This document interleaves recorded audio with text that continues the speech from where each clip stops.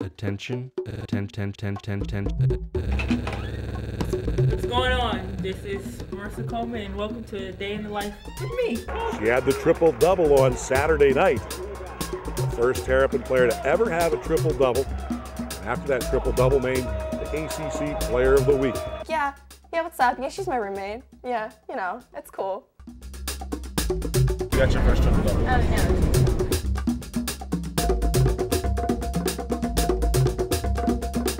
Just left my common gender class. Did our presentations. I did mine last week on the color purple. It was a good time. Right now we're gonna go get some breakfast. Breakfast of champions. Nice blueberry muffin, muffin, croissant, and some orange juice. Can't go wrong with that. Quick and easy. I mean, I would prefer, you know, McDonald's sausage, egg, biscuit, but I don't think the coaches would like that too much. I think most people who don't who don't know me or aren't around me think that I'm a, a serious and kind of I guess mean person just because I don't I don't know don't walk around with a smile on my face all the time. But personally, I think I'm pretty you know goofy, funny person. And most people say that once they meet me, they realize how goofy that I really am. It's she's great. She's uh, very hardworking and uh, she's uh, fun. I saw her on TV once. The University of Maryland is out of control with They make tickets. so much money. Seventy-five dollars for one ticket. You park in the wrong place at seventy-five dollars. I have about probably five for myself. I have nine. Nine tickets. Jeff left Spanish class. Uh, Christy came and picked me up. Headed over here to Comcast. Time for shoot around and pregame meal. This is my lovely roommate, Lynn Cooper. She plays lacrosse.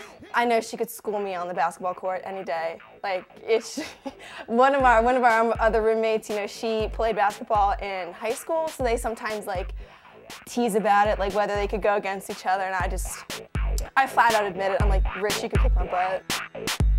Right now we're going to Soros and Riley's for our pregame meal.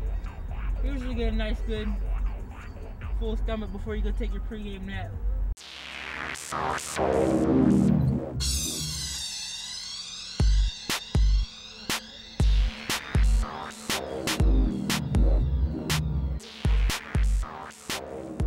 All right, welcome to my room. So this handsome gentleman right here is my roommate's dad, Mr. Mavis. You know, we just want to put him up here for tribute. He loves the women's basketball team, and we love him back. So, just want to say we love you, Mr. Mavis. Natty Champ posters up, all that good stuff. I think this might be one of my favorites in the room. Picture of my mom and I from from Paris. My mom, her gangster pose. I'm just amazed at her. I, I watch her play, and I'm each time I see her play, I see her do something different. I'm very proud of her.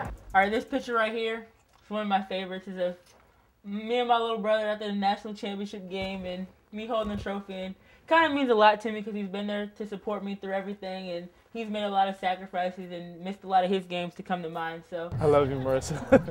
just kind of puts it all in like perspective of like all the hard work and what he's helped me accomplish. So the trophy's just as much his it is as it is mine. yeah, I kind of I kind of like to think of us as the next Reggie and Cheryl Miller kind of type duo kind of thing. So I like to think that I gotta um I can't let her be the only one at top. I gotta work hard so we can both be there together. All right, Lynn and I are gonna go watch some Grey's Anatomy. Then I'm gonna go lay down for my pregame nap. So we'll see you guys at the game. I think it's time for you guys to leave, unless you want to watch Grey's Anatomy. But you know that's like Lynn and I's thing. So so maybe just leave. All right, see you at the game. Peace. Peace, love, and hair grease.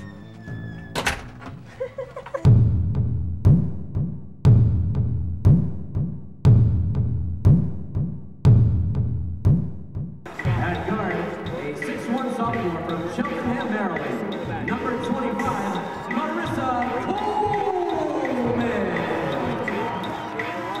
Make them count, Marissa.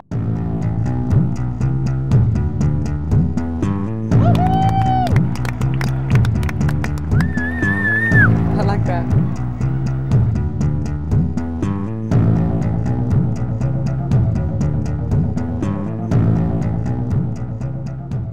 All right, so you seen what it's like to live a day in the life with me. But as you can see, the stands are empty. It's about 9:15. So me and my two bodyguards we need to head out, go get some dinner, and call it a night.